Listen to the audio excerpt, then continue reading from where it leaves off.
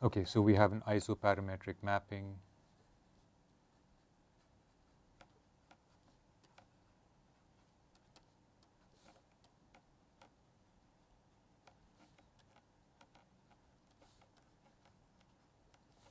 for the geometry.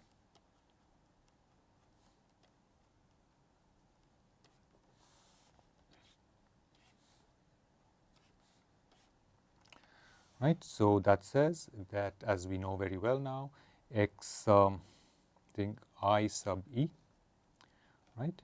Um, as a function of uh, c vector is again obtained as a sum over the nodes n a right? And now n a we know is a function of is parameterized by the coordinates in this bi-unit domain and we have here x a i e.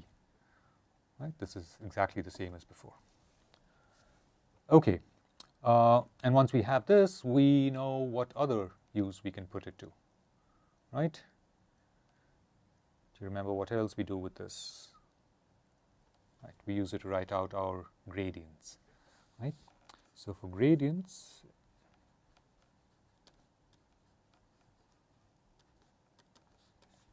And what are the gradients we need? When we look back at our uh, finite dimensional weak form, we, we already see this,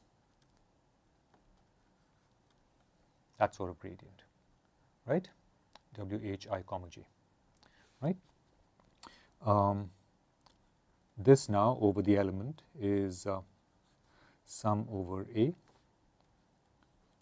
N A comma J C A I E, right? I'm, I'll probably add an E in there as well, okay, just to keep decorating it, right? And of course, the same thing for U, H, I, comma J. All right, U, H, I, comma J is um, over element E is again sum over A N A comma J D A I E. Okay? And we know straight away where we expect to use this, right? Of course, this shows up directly in the weak form when we look at it, right? Just recall recall the term on the left hand side in our weak form, integral over omega w h i comma j. Uh, we have sigma h.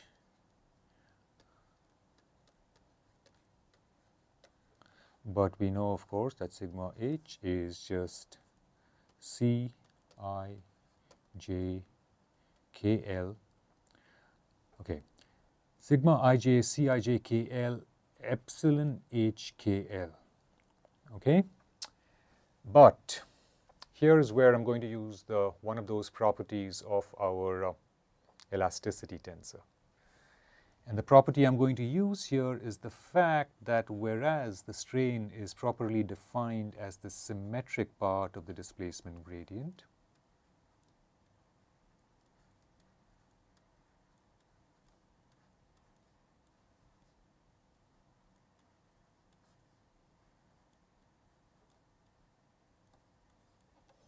right? That's the strain.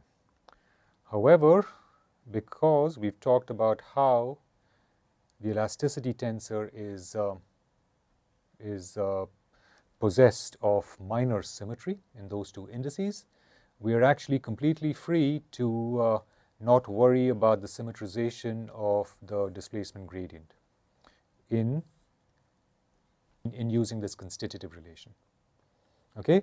So what I'm saying is that we are completely correct long as we make sure that C has minor symmetry. We are completely correct in writing this as Cijkl uh, U K comma L. Okay, and the reason for this is minor symmetry.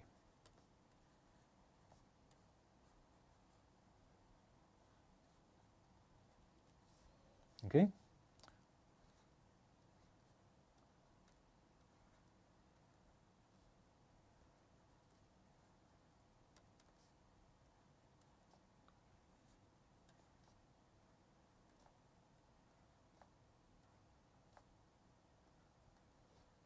Right?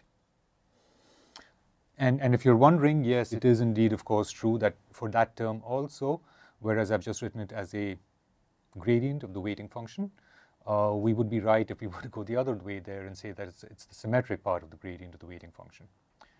All right, but we just don't need it. We can leave it this way. So, uh, minor symmetry with respect to the ij indices, which we also have, takes care of things for us. Okay, but any but at any rate, we see clearly what uh, gradients we need to compute, right? You should remember that k and l here are of course just dummy indices because they're being summed away, right? Or even otherwise they would be dummy indices. And so when, when I say I'm going to compute uh, i comma j here, it's, it's really the same thing. All right. So we do need to compute gradients.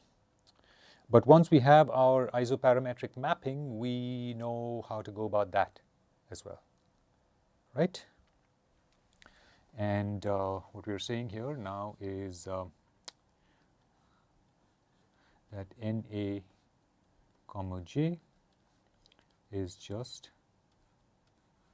NA comma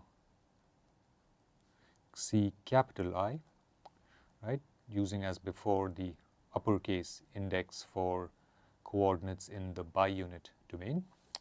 We have this times derivative of Ci with respect to xj, right, for all j as before.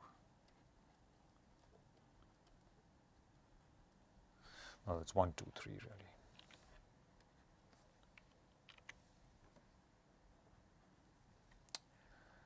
Okay, and of course we know how to compute this now, right, using the Jacobian of the mapping, right. So, what we do here is use the Jacobian of the mapping.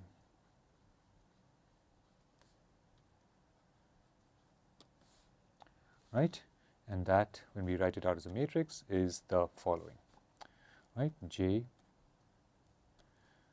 right depending upon the coordinates in the bi-unit domain is we know this all very well now x1 comma c1 x1 comma c2 x1 comma c3 we go on.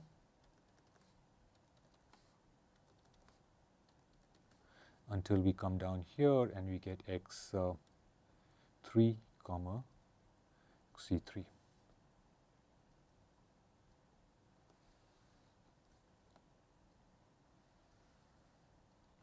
Right?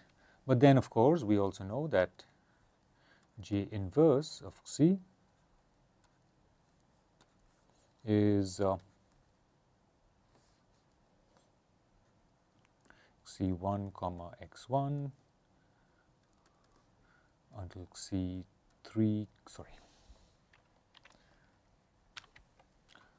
1 comma x3 and we go on.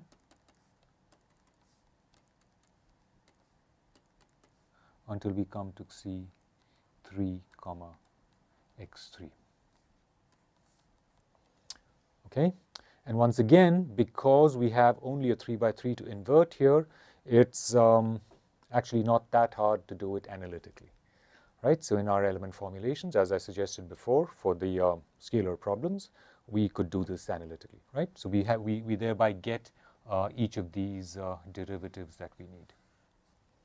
Right? And therefore, we know how to compute the gradients. Okay.